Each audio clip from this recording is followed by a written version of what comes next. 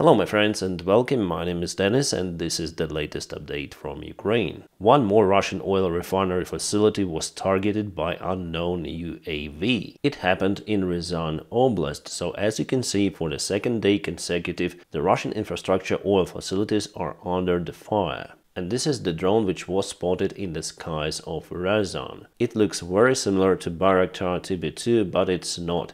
It's much smaller and probably was ordered from Alibaba. Ukraine has already used many of the China-made drones. They officially ordered those, modifying them and later on using against the Russian infrastructure sometimes as you can see quite successfully. If we check out the map, Ryazan is located over here, so for Ukraine it's the long way actually to target this region. This is the impossible task for the Bayraktar TB2 drone with a maximum range of 150 kilometers, or around 100 miles, and this distance is around 500 kilometers. Obviously, it influences the internal oil market of Russia too. Soon ordinary Russians would have to pay for the fuel more. But the main thing that the oil refinery facilities are used to produce diesel fuel for the Russian tanks and armored vehicles and by targeting those, Ukraine slows down the Russian army in Ukraine. I think that this strategy really works. As you see, Ukraine has intensified those attacks. The most of the Russian oil refinery facilities are within the range of the Ukrainian long-range drones, so Ukraine might potentially damage the Russian oil infrastructure a lot. And we have multiple of the reports about the Russian targeted oil refinery facilities. Ukraine was definitely successful out there. And we have the rumors from the Russian side that Ukraine might land their forces in Novorossiysk port, which is the biggest Russian oil port in the Black Sea. I heard the similar rumors about Crimea, but this information is coming from the Russian military bloggers. They say that Ukraine targeted many of the military ships of the Russian Federation in the Black Sea to free the way for the landing operation. Well, it is hard to say whether this operation in Novorossiysk will be conducted, but Budanov, the director of the Ukrainian military intelligence, says that Ukraine is planning the operation in Crimea probably a landing operation. The Ukrainian military intelligence also reports that definitely A-50 Russian AWACS airplane was targeted in Tambov military airfield then it was located inside the hangar. So we have the official statement but without the real evidence, I mean photos or videos from the actual place. So it just depends on you guys whether you want to believe in that or not. With the other airplanes down by Ukrainian side, we always had some of the proofs. But here, personally for me, it's really hard to judge. To confirm it 100% we need the real evidence but it only could be presented by the Russian side and obviously they're hesitating to do so. On the other hand, not providing the evidence from this hangar also might be some sort of the evidence. If nothing inside was damaged, so please show us the place. The Russian Legion of Freedom continued to film the videos from the Russian side and how they advanced towards the bordering Totkino village.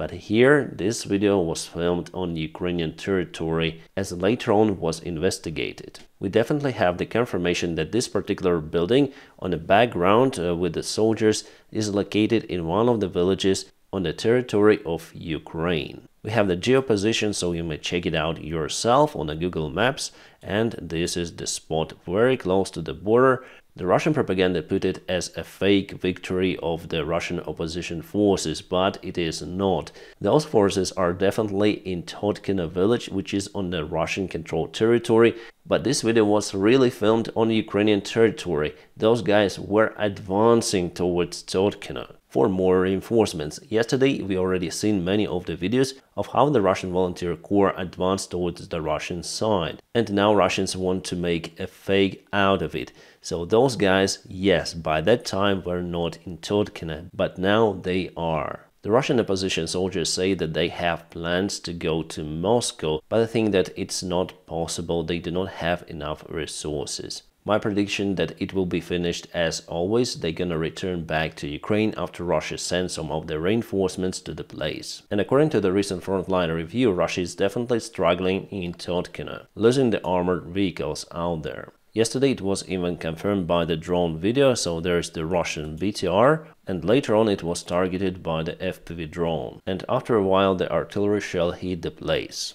where the Russian armored vehicle was parked. Also, the Russian MLRS Grad system was targeted really far away from the border with Ukraine in Belgorod Oblast. The system was kaputted again by the FPV drone. The distance from Ukrainian border to the place where the Grad was ambushed is nearly 10 kilometers. Now let's go to the different front lines update. For example, in Krasnogorivka, it's not really far away from Marinka. So Russia tried to perform their counteroffensive towards this settlement. Let me show you more specific details. So actually they were attacking from the south but were ambushed as you can see over here. Sadly, Ukraine also lost some of the armored vehicles or tanks. And Russia continued to use the aviation bombs against any kind of settlement near to the front lines. It is their strategy to eliminate everything on their way using artillery, aviation bombs, plus what they do to harm Ukrainian artillery far behind the front lines are the Lancet drones. Nevertheless, somehow Ukraine still holds in Krasnohorivka. The general idea for Russia in this sector is to advance towards Kurakhove, but they cannot do it directly through this highway.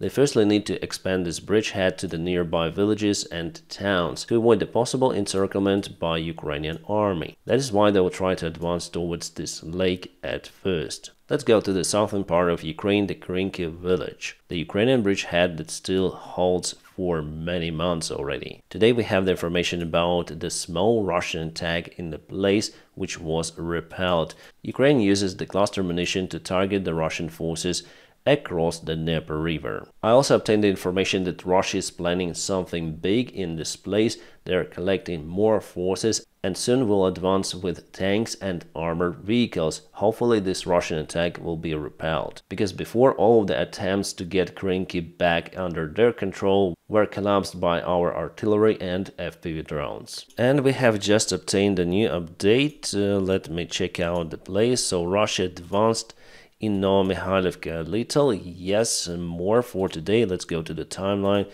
was yesterday and it is today. It's not a little, they advanced quite a lot, taking this field under control. We also have the update in Orlivka, so it was yesterday, it is today. Russia took a single house. Orlivka is over here, not far away from Avdiivka, so Russia was able to get a single house for two days so definitely their offensive stalled a little in Avdiivka direction. But they advanced a little on the south in Pervomaiska, so it was yesterday and it is today they took this street under control. And if we check the mountain direction near to Terny, Russia also moved for today, but also they were pushed back in this place. According to my information, the Russian attack was successfully repelled. Nevertheless, with all of those midwaves, Russia is getting closer to this settlement. Their goal is to advance towards this lake. In general, about the vehicle losses, Russia still loses more compared to Ukraine. So for the last three days, Russia lost 176 of the vehicles, Ukraine 73. Just look at the number of the Russian armored vehicles, all of the BMPs that they lose. BMPs, BMPs, MTLBs, supply vehicles, mostly those being destroyed in the failed Russian attack attempts. We have also sad news about Ukrainian helicopters and helicopter pilots.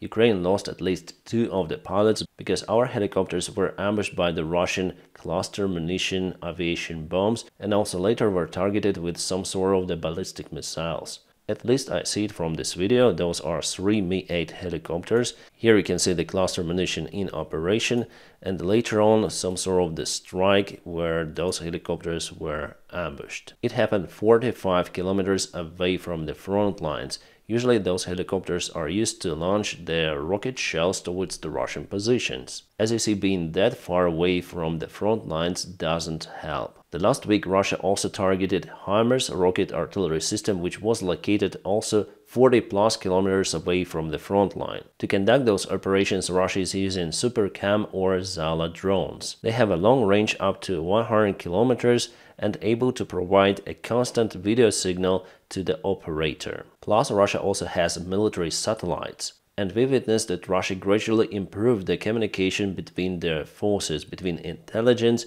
and air force plus artillery. From the time that the drone identifies the target, there are just few minutes pass for decision making to start the attack. Also, I still do not exclude that there is some red in Ukrainian military command because somehow Ukraine starts to lose a very critical and important military equipment in just recent weeks. Important radars, air defense, Patriot, NASAMS, HIMARS, this time helicopters. This situation looks very fishy, especially for Ukrainian army command. Russia has never ever was that successful targeting our equipment behind the front lines. But they had aviation and those drones before. Something really strange as for me. Finally, Scholz said why he doesn't want to supply Taurus cruise missiles to Ukraine. The reasons are secret. Scholz, come on, what the hell? What kind of the secret thoughts you have about Taurus? Just supply those to Ukraine. All of the allies from UK and France are laughing at Scholz. Yeah, I understand that Germany supplies lots of the military aid for Ukraine, but we need Taurus cruise missiles. Otherwise, Ukraine is unable to cut very important supply connections for the Russian army. Storm Shadow and Scalp are not really for that purpose, they have much lower range compared to Taurus, so German-made missiles could be really a game changer for us. Well, not strategically in this war, but they might reduce the casualties for Ukrainian side. But this guy is not really that interested even though Bundestag, the German parliament, had already voted to supply those missiles to Ukraine. Well, they didn't specify the exact Taurus missiles, they spoke about long-range missiles. But what other missiles do you have in Germany? Oh my god, what is happening? Even Marine Le Pen starts to support Ukraine. Marine Le Pen, who supported the occupation of Crimea by the Russian Federation. Now she says that to the Ukrainian nation, we own probably our respect and support. Russia triggered a war from Marine Le Pen. I wonder what changed her thoughts. It's like Viktor Orban would suddenly become the advocate of Ukraine. So even French right wing, if you may call her that, support Ukraine. France is really impressing now. A French prime minister also supported Ukraine by saying Slava Ukraini I think France is preparing something because they also announced a meeting between them, Germany, where they are going to discuss the war in Ukraine. Meanwhile, Kaja Kallas, the Estonian Prime Minister, says that they cannot guarantee that Estonia would not send the forces to Ukraine. She says that there are some of the countries uh, which send their soldiers to Ukraine. That's why I cannot promise that Estonia will not do the same, because Russia is the threat for Estonia. Putin said that he is ready for nuclear war with the United States if they send the forces or the troops in Ukraine. Well, I wouldn't trust it, even though I think that Putin is crazy, but he is known for bluffing. At the very beginning of the war, Putin threatened the Western countries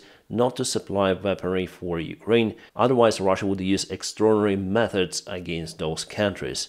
What kind of methods? We haven't heard about anything. Well, probably banning the French wine was the hardest their decision against the Western countries. But I still think that Russia might try to use some of the nukes, the tactical nuclear weaponry, under some certain circumstances, because we had the report about it from the United States intelligence, but now United States say that there is no direct nuclear threat from the Russian Federation. Meanwhile, Putin says that they're ready to use nukes at any moment. Also in his interview, Putin said that they don't want to negotiate with Ukraine just because Ukraine is running out of the ammunition. Clearly, he says it that Russia will continue this war. A message for everyone who believes that there is some sort of the agreement possible with Russia. To some of the international news, it seems like TikTok will be banned in the United States. At least House of the Representatives voted for that. Total is 352 yeah and nay 65. Well, for me personally, before I was kind of against the TikTok, but now I watch many of the videos that our soldiers film from the front lines and post those to TikTok. I have my own account on TikTok as well, but there I post only about aviation. The last time I posted there was maybe two years ago. Nevertheless, I got many of the subscribers I just want to see the alternative for this platform you're watching me on. There's no such a big alternative to YouTube right now. So TikTok probably was the only alternate, but since it will be banned in the United States, I'm almost sure about it, because President Biden said that he will sign this bill if it would be agreed by Congress. It will just end TikTok because the biggest market for it is obviously the United States of America. So I would like to see something similar to TikTok or YouTube but made for example in the United States or in Europe. A good solid alternate because all those rumbles Well, there is not enough audience out there, not like in YouTube. Nevertheless, I have the alternate for YouTube, it's Telegram. There I post some of the videos and text information. I use it as my backup resource to keep in touch with you, my friends, so I highly recommend you to subscribe for my Telegram in the video description just below. And you know it's kind of hard to block Telegram. Russia tried before, now Ukraine also tried, but came out with solution that it's basically not possible. The vice president of Lukoil, Russian oil company, somehow lost his life. We have just a fact that it happened, but when and how, no one tells. What is interesting that for the last half a year, it's already the fourth top manager of Lukoil who loses his life. Smoking really kills, especially near to balcony. My friends, please don't forget to press your huge like to this video. By doing so, you help me a lot. And also, if you want to support my job, you may check out some of the links in the video description just below. You may support me on Patreon or just on YouTube, sponsorship or membership. Thank you so much for your kind support. My friends, I wish you all a peaceful sky wherever you are and have a great time.